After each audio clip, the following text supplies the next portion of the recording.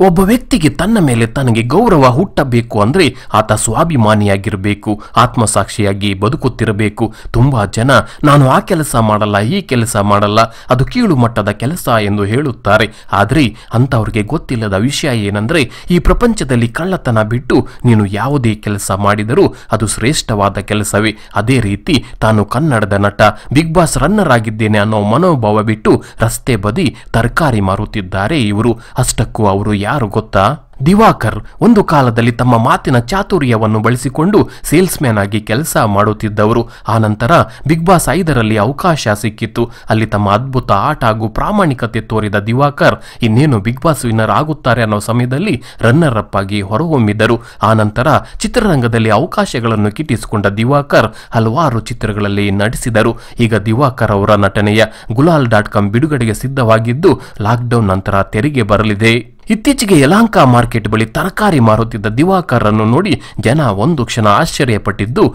ನಿಜ, ಹೌದು, ಯಲಹಂಕ ಮಾರ್ಕೆಟ್ ರಸ್ತೆ ಬದಿ ತರಕಾರಿ ಮಾರುತ್ತಿದ್ದಾರೆ ದಿವಾಕರ್. ಅಷ್ಟೇ ಅಲ್ಲದೆ, ಜನರ ಅತ್ಯವಶ್ಯಕ ವಸ್ತುಗಳಾದ ಮಾಸ್ಕ್ ಹಾಗೂ ಸ್ಯಾನಿಟೈಸರ್ ಕೂಡ ಮಾರಾಟ ಮಾಡುತ್ತಿದ್ದಾರಂತೆ. ಕೊರೋನಾ ಹಾಗೂ ಲಾಕ್ಡೌನ್ ಕಾರಣ ಎಲ್ಲಾ ಚಿತ್ರರಂಗದ ಚಟುವಟಿಕೆಗಳು ನಿಂತು ಹೋಗಿವೆ. ಹಾಗಾಗಿ, ಕಳೆದ ಒಂದೂವರೆ ತಿಂಗಳಿಂದ ಈ ವ್ಯಾಪಾರ ಮಾಡುತ್ತಿದ್ದಾರಂತೆ ದಿವಾಕರ್. ಅಷ್ಟಕ್ಕೂ ವ್ಯಾಪಾರ ಮಾಡುವುದು ದಿವಾಕರ್ಗೆ ಹೊಸ ಕೆಲಸವೇನೂ ಅಲ್ಲ. ಕಾರಣ, ಈ ಹಿಂದೆ ಸೇಲ್ಸ್ಮೆನ್ ಆಗಿ ಕೆಲಸ ಮಾಡಿದವರು ಲಾಕ್ಡೌನ್ ಅಂತ ಸುಮ್ಮನೆ ಮನೆಯಲ್ಲಿ ಕೂತು ಕಾಲಾಹರಣ ಮಾಡದೆ ತಮಗೆ ಗೊತ್ತಿರುವ ಸೇಲ್ಸ್ ಸ್ಕಿಲ್ ಅನ್ನು ಬಳಸಿಕೊಂಡು ವ್ಯಾಪಾರ ಮಾಡುತ್ತಿದ್ದಾರೆ. ದಿವಾಕರ್ ಅವರ ಈ ಸ್ವಾಭಿಮಾನದ ಕೆಲಸ ನೋಡಿ ಅವರ ಅಭಿಮಾನಿಗಳು ಹೆಮ್ಮೆ ಪಡುತ್ತಿರುವುದಂತೂ ನಿಜ.